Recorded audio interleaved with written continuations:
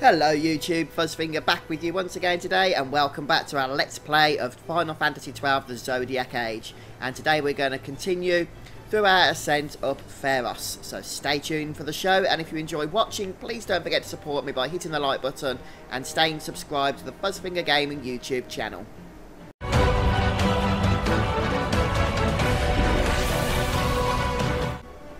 I know it's been a while since we've done any of the actual story walkthrough for the game, and the reason why I'm only doing it now is because a lot of the hunts and that that we've got left to do are actually locked behind the story itself, so we do need to actually get some of this done before we can proceed any further at this point.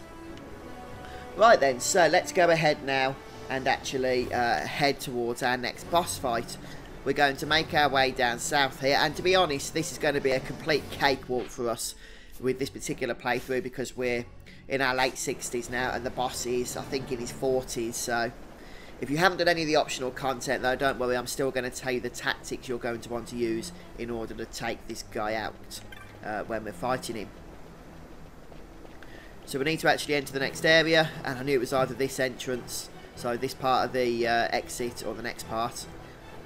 So we need to continue heading up this ascent is obviously taking us particularly to a high level. So we'll go to the ancient door here.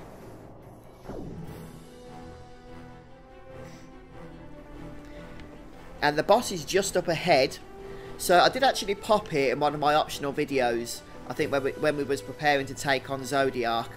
So if you haven't been here already, just up here there's going to be a couple of chests. They're one-time loot chests. So you'll want to grab them. One of them contains a black mask and they're either just around here or actually just in this section here at the side of this door.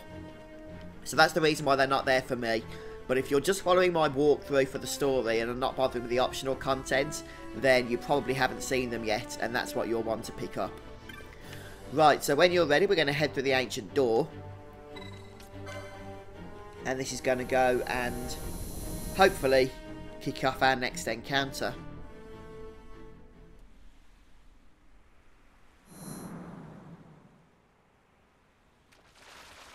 Well, we're in a very strange area, at the least.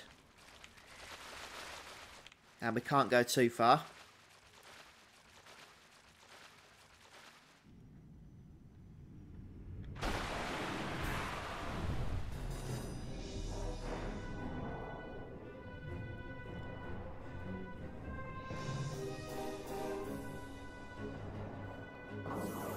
So this is Slyt, and Slyt is um, a level 47 Fiend. He's not particularly difficult, but he does start with regen, so make sure you begin by dispelling him.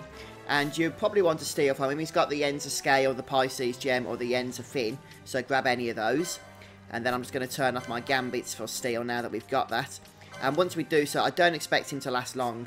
But if you're going to struggle with this guy because you're still low level for whatever reason, then what I recommend is hitting him with oil and then having a Black Mage cast Fire Guard on him. Of course, if you've got Scathe, then even better.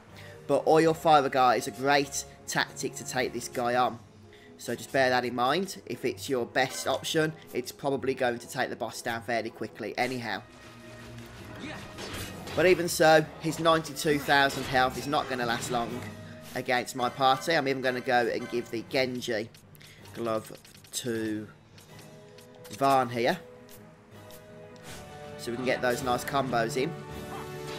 And I haven't got any buffs or anything on my party, no debuffs on the enemy. We're just going all out here. And Silt, or Slyt, sorry, is going to fall very quickly, as you can tell. But again, just make sure you dispel that regen as and when it is cast on the boss. And down he goes.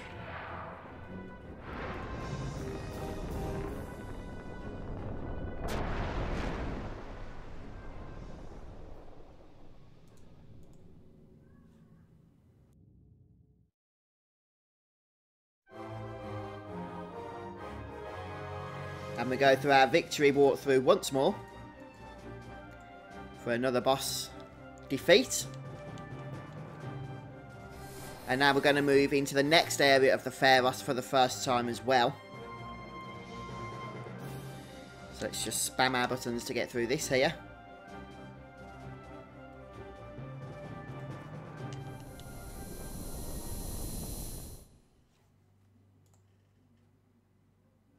Okay. At which point we are, of course, put through, or put back to the previous area. And we can just head for the door on the other side. And then follow the path round to the exit. And there's another waystone for us. I don't believe there's any treasure here that you'll want to take apart from the treasure that I told you about before the boss. But I will just run around here and see if there's any chests. But no, there isn't. There is some nice treasures coming up in this place. But not just yet. So I'll point those out to you as and when we come across them. We'll go ahead and use the waystone.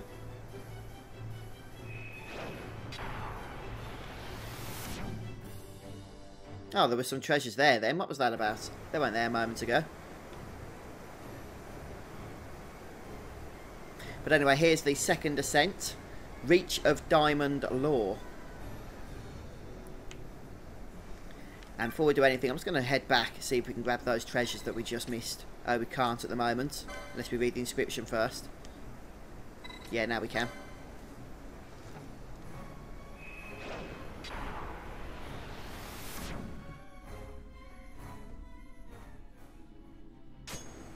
Now, where were those treasure chests hiding out? They were like hidden or something, weren't they, around here?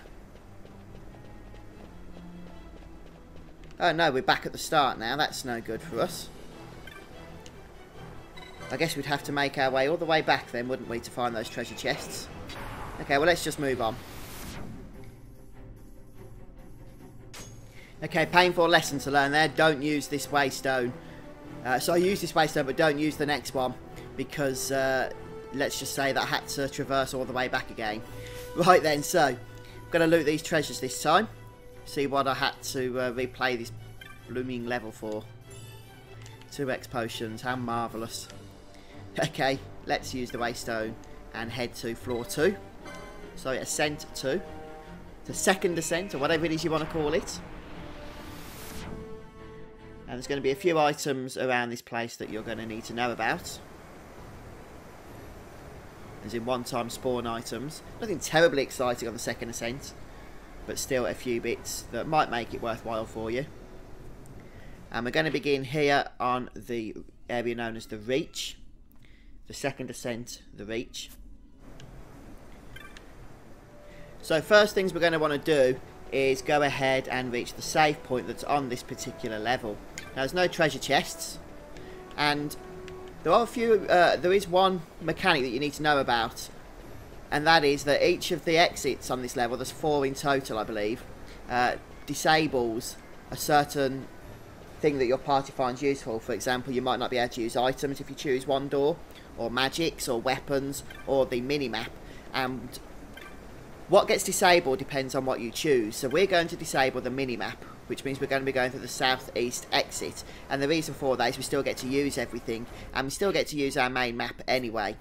So in my opinion, that uh, out of all four things to disable, that is probably the easiest one to manage. So that's what we're going to be doing, but we're going to save here. Right, to be honest, guys, it's actually lunchtime for me now, so I need to go and get a sandwich and take a break from the game.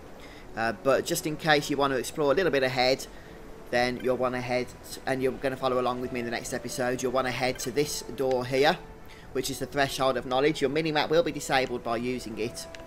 Uh, but in my opinion, as I say, this is the best option. Uh, but thanks for joining me today, guys. I hope you've enjoyed watching. If you have, don't forget to hit the thumbs up button, and I'll see you soon for more Zodiac Age.